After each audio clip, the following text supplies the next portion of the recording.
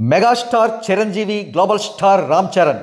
ఇద్దరిని భారతదేశ హోంమంత్రి Amit Shah two legends of Indian cinema అని ట్వీట్ చేయడం పెను సంచలనం సృష్టించింది. ఒక సాధారణ వ్యక్తి లెజెండ్గా ఎదగడానికి ఎంత ప్రతిభ ప్రదర్శించాలో ఎంత హార్డ్ వర్క్ చేయాలో చిరంజీవి చేసి చూపించిన విషయం అందరికీ తెలిసిందే. అయితే ఎంతో విచిత్రమైన విషయం ఏమిటంటే ఒక లెజెండ్ కడుపున పుట్టిన మరో హీరో కూడా లెజెండ్గా ఆవిర్భవించడం. ఇప్పుడు రామ్ చరణ్ సాధించుకున్న లెజెండ్ స్టేటస్ ఆషామాషీగా వచ్చింది కాదు. సాక్షాత్తు దేశ హోమ్ మినిస్టర్ చేత లెజెండ్ అనిపించుకున్నాడు. అంతేకాదు మల్టీ మిలినీర్ పారిశ్రామికవేత్త ఆనంద్ మహీంద్రా చేత గ్లోబల్ స్టార్ అనిపించుకున్నాడు. అందుకే రామ్ చరణ్కు వచ్చిన లెజెండ్ స్టేటస్ అథారిటేటివ్ అని చెప్పవచ్చు.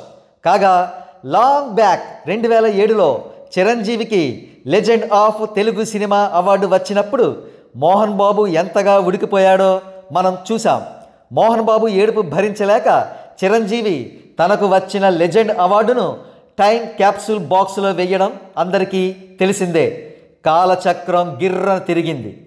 పదహారు సంవత్సరాలు గతించాయి. చిరంజీవి తాను జస్ట్ లెజెండ్ కాదు all time legend of film industry అని నిరూపించుకున్నాడు. ఈ డెవలప్మెంట్ మోహన్ బాబు సహించలేనిది. అయితే మోహన్ బాబుని బాధిస్తున్న విషయం ఇప్పుడు చిరంజీవి లెజెండ్ అని కాదు. చిరంజీవి కొడుకు రామ్ చరణ్ కూడా అతి చిన్న వయసులో లెజెండ్ అయ్యాడని. రామ్ చరణ్ వల్ల నాటు నాటు పాటకు ఆస్కార్ అవార్డు వచ్చిందని మోహన్ బాబు తీవ్రమైన అసూయతో ఉన్నాడు. అందుకే ఆర్ఆర్ఆర్కు ఆస్కార్ అవార్డు వచ్చినందుకు రాజమౌళికి కీరవాణికి విషెస్ చెప్పాడు. కానీ రామ్ చరణ్కు చెప్పలేదు. తన తాజా ఇంటర్వ్యూలో కూడా కేవలం కీరవాణికి మాత్రమే క్రెడిట్స్ ఇస్తూ మాట్లాడాడు మోహన్ బాబు.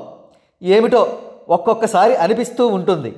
మోహన్ బాబు అసూయ దానివల్ల వచ్చిన కష్టాలు పగవాడికి కూడా రాకూడదురా బాబు అని.